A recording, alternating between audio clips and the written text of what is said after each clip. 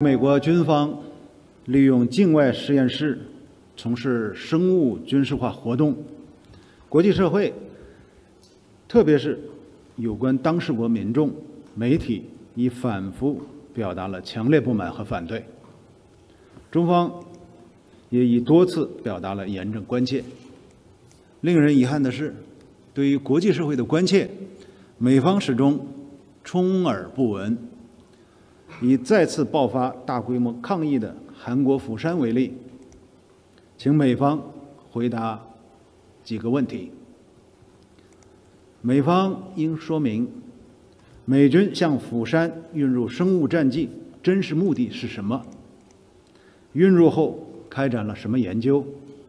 如何证明相关活动符合禁止生物武器公约的规定？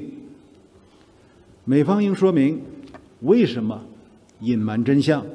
特别是为什么一开始否认在釜山港第八码头建立军方实验室，直至二零一六年相关项目被媒体曝光，才被迫承认？为什么二零一五年声称当时是首次向韩运入生物战剂？随后又被调查证明，早在2009年就开始秘密运入行动。美方也应说明为何置当地民众的健康和安全于不顾，特别是釜山港第八码头半径500米内有四个居民区和多所学校，这样的人口密集区。一旦发生事故，怎么办？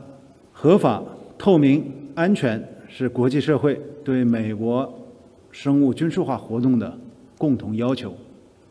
我们再次敦促美方做出全面澄清，采取切实可信的行动，全面履行禁止生物武器公约的义务，并停止独家阻挡公约核查议定书谈判，为通过核查解决关切。建立互信，创造条件。